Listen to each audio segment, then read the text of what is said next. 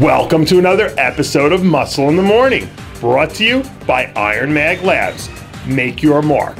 I'm your host, Dave Palumbo, and I'm here to bring you all the latest news in the world of bodybuilding and fitness. It's Thursday, March 12th, 2015, and let's get to it.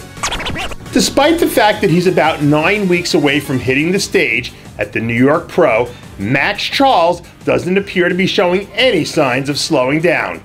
Charles' Herculean strength is the stuff of legend, and his most recent display of making 405 on the incline bench look like he's pressing a bale of feathers only adds to the lore. In a tank tap, Charles has a legitimate claim to being one of the freakiest looking athletes in all of bodybuilding. And after a standout rookie campaign, he's hoping that he brings his sophomore season to the same level of success both on and off the stage. Amit Sapir is back in the office doing what he does best. Just a few months removed from setting a 722 pound world record in the squat at 198 pounds, Sapir is back under the barbell working towards what he hopes will be another record setting season. Earlier in the week, Sapir was spotted in the gym making short work of 605 pounds for six clean reps. When he wasn't breaking records last year, Sapir was busy breaking into the top 10 in three separate 212 Pro events. At this point in time, Sapir has no exact plans as to when he'll step onto a bodybuilding stage in 2015. But rest assured, with heavy training lifting like he's doing, Sapir will certainly be one of the thickest competitors in the men's 212 division. Brian Balzano is on the road to recovery after suffering through some injuries. Last year, Balzano exploded onto the scene when he won the overall at the NPC Mike Francois Classic in his very first show, then went on to destroy the middleweight class at the USA Championships, where he earned his IFBB Pro card. A few weeks ago, Balzano suffered a back injury while training that has temporarily put him on the sidelines.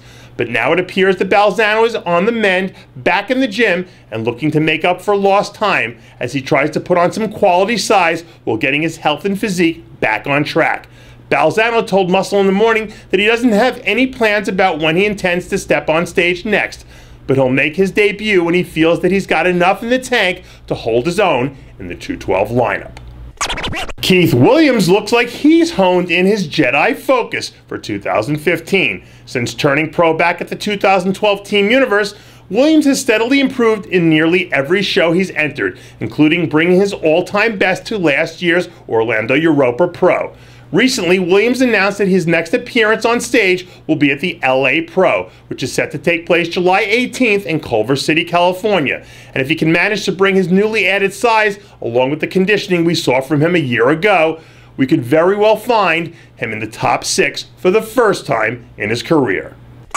There's an old Indian folk tale about a mythical monster known as a Wendigo that stalks the lands of Canada and the northern parts of the U.S.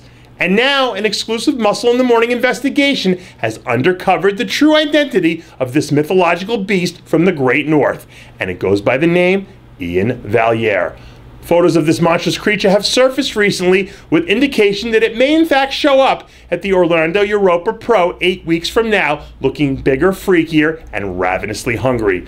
With the level of momentum Valliere has after sweeping the Amateur Olympia Latin America last year, don't be surprised to see this young Canadian standing in the top five call-out at his very first pro contest.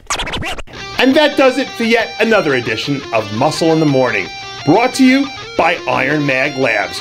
Make your mark. Check out ironmaglabs.com today.